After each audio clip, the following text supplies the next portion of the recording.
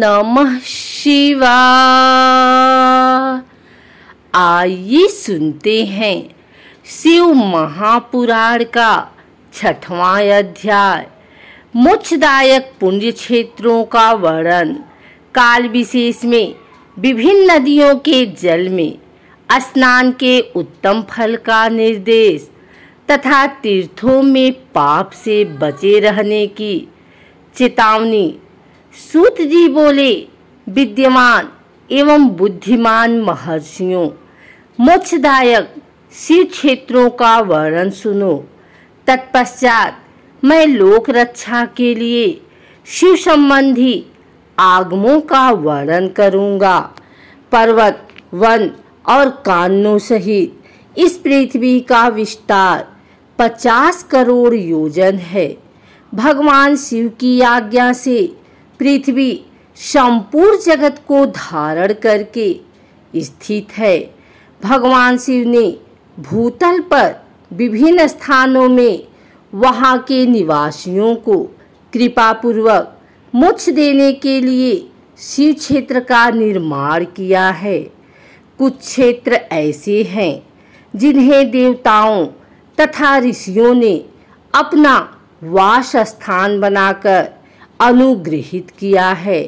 इसीलिए उनमें तीर्थत्व प्रकट हो गया है। तथा अन्य बहुत से तीर्थ क्षेत्र ऐसे हैं जो लोगों की रक्षा के लिए स्वयं प्रादुर्भूत हुए हैं। तीर्थ और क्षेत्र में जाने पर मनुष्य को सदा स्नान, दान और जप आदि करना चाहिए।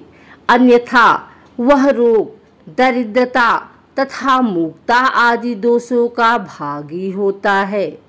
जो मनुष्य इस भारतवर्ष के भीतर मृत्यु को प्राप्त होता है, वह अपने पुण्य के फल से ब्रह्मलोक में वास करके पुण्य क्षय के पश्चात पुनः मनुष्य योनि में ही जन्म लेता है। पापी मनुष्य पाप करके दुर्गति में ही पड़ता है। ब्राह्मणों, पुण्य क्षेत्र में पाप कर्म किया जाए तो वह और भी दृढ़ हो जाता है। अतः पुण्य क्षेत्र में निवास करते समय सूक्ष्म से सूक्ष्म अथवा थोड़ा सा भी पाप न करें। सिंधु और सतद्रु सतलज नदी के तट पर बहुत से पुण्य क्षेत्र हैं। सरस्वती नदी परम पवित्र और सात मुख वाली कही गई है। अर्थात उसकी साठ धाराएँ हैं। विद्यमान पुरुष सरस्वती के उन उन धाराओं के तट पर निवास करें तो वह क्रमशः ब्रह्मपद को पा लेता है। हिमालय पर्वत में निकली हुई पुण्य सलीला गंगा सौमुख वाली नदी है। उसके तट पर काशी, प्रयाग आदि अनेक पुण्य क्षेत्र हैं।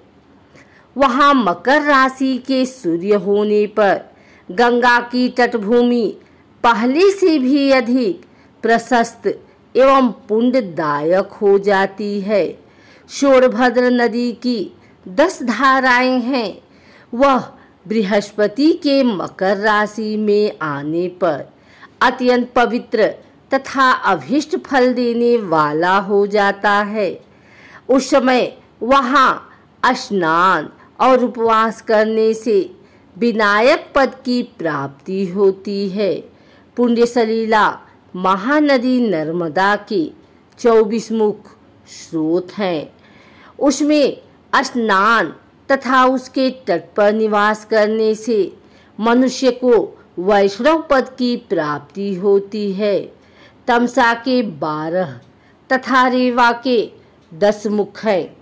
परम पुण्यमयी गोदावरी के इक्कीस मुख बताए गए हैं।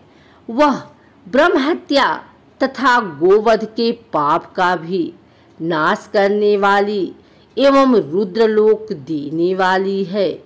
कृष्णावेणी नदी का जल बड़ा पवित्र है।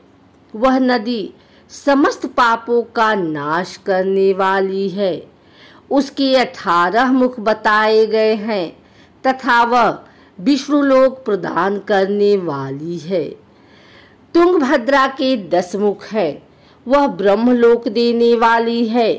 पुण्य सलीला सुवर्ण मुख की नौ मुख कहे गए हैं।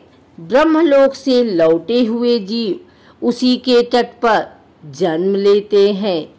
सरस्वती नदी पंपा सरोवर कन्याकुमारी, अंतरिम तथा शुभकारक श्वेत नदी ये सभी पुण्य क्षेत्र हैं। इनके तट पर निवास करने से इंद्रलोक की प्राप्ति होती है। शाह पर्वत से निकली हुई महानदी कावेरी परम पुण्यमयी है। उसके सत्ताईस मुख बताए गए हैं। वह संपूर्ण अभिष्ट वस्तुओं को देने वाली है। उसके तट स्वर्गलोक की प्राप्ति कराने वाले तथा ब्रह्मा और विष्णु का पद देने वाले हैं। कावेरी के जो तट शैव क्षेत्र के अंतर्गत हैं, वे अभिष्ट फल देने के साथ ही शिवलोक प्रदान करने वाले भी हैं। नैमसारण्य तथा बद्रिकाश्रम में सूर्य और बृहस्पति के मेष राशि में आने पर यदि स्नान करे तो उस समय वहाँ किए हुए स्नान, पूजन आदि को ब्रह्मलोक की प्राप्ति करने वाला जानना चाहिए। सिंह और कर्क राशि में सूर्य की संक्रांति होने पर सिंधु नदी में किया हुआ स्नान तथा केदार तीर्थ के जल का पान एवं स्नान ज्ञानदायक माना गया है। जब बृहस्पति सिंह राशि में स्थित हो, उस समय सिंह की संक्रांति से युक्त भाद्रपद मास में यदि गोदावरी के जल में स्नान किया जाए तो वह शिवलोक की प्राप्ति कराने वाला होता है। ऐसा पूर्व काल में स्वयं भगवान शिव ने कहा था।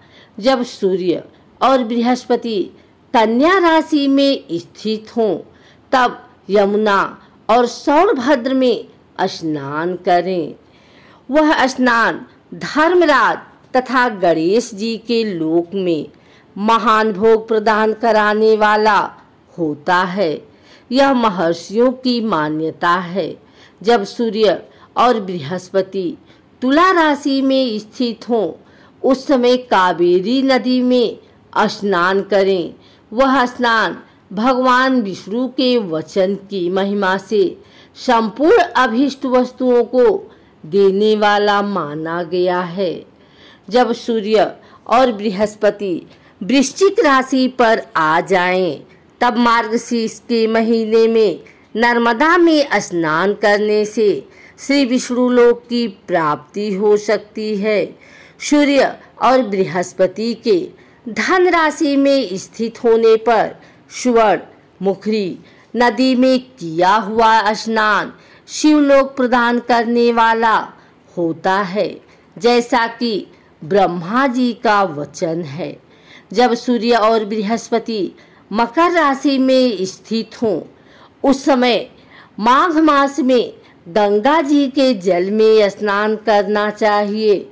ब्रह्मा जी का कथन है कि वह स्नान शिवलोक के पश्चात ब्रह्मा और विष्णु के साथ सुख भोगने के अंत में मनुष्य को ज्ञान की प्राप्ति हो जाती है।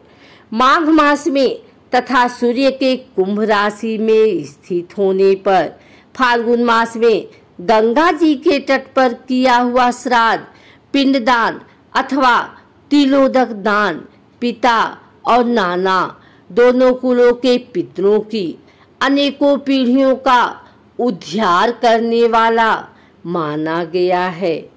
सूर्य और बृहस्पति जब मीन राशि में स्थित हो, तब कृष्णवेणी नदी में किए गए स्नान की ऋषियों ने प्रशंसा की है।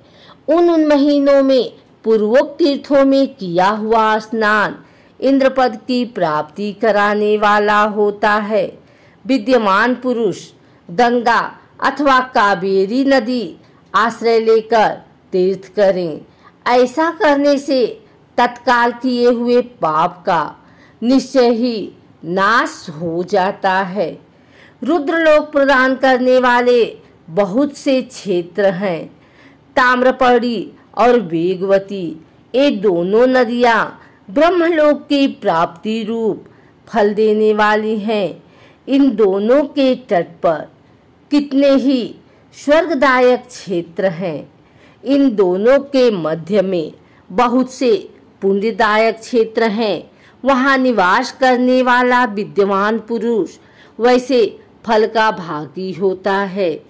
सदाचार, उत्तम वृत्ति तथा सद्भावना के साथ। दया भाव रखते हुए विद्यमान पुरुष को तीर्थ में निवास कराना चाहिए। अन्यथा उसका फल नहीं मिलता। पुण्य क्षेत्र में किया हुआ थोड़ा सा पुण्य भी अनेक प्रकार से वृद्धि को प्राप्त होता है तथा वहाँ किया हुआ छोटा सा पाप भी महान लगता है। यदि पुण्य क्षेत्र में रहकर ही जीवन बिताने का निश्चय हो तो उस पुण्य संकल्प से उसका पहले का सारा पाप तत्काल नष्ट हो जाएगा, क्योंकि पुण्य को ऐश्वर्यदायक कहा गया है। ब्राह्मणों, तीर्थवास